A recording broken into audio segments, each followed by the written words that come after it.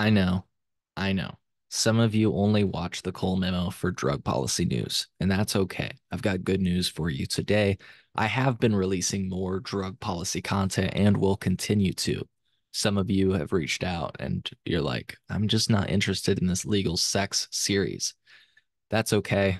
I find it fascinating. And if you just now heard about it for the first time, you can go to thecolememo.com slash sex to see the episodes that we've released to date. But if you'd rather not see that and you'd rather see my coverage on drug policy, again, I have good news for you.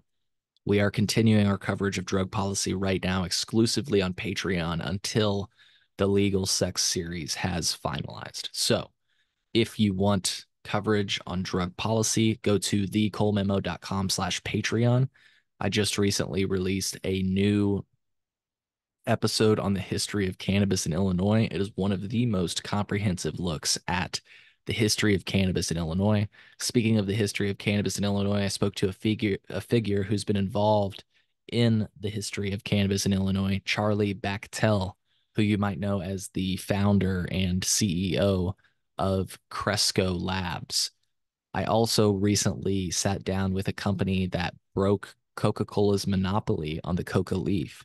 In case you didn't know, Coca Coca-Cola is called Coca-Cola because they use the coca leaf for flavoring.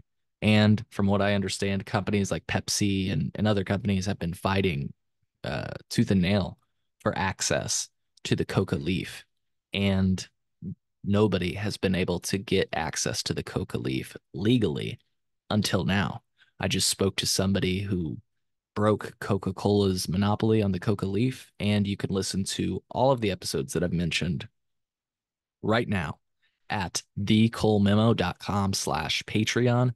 If you're not enjoying the series on, um, or, or my series on the legal sex industry in Nevada, that would be your way to get our content as it releases. Um, but that content will not be released until this series on the legal sex industry concludes. Thank you all. Take care.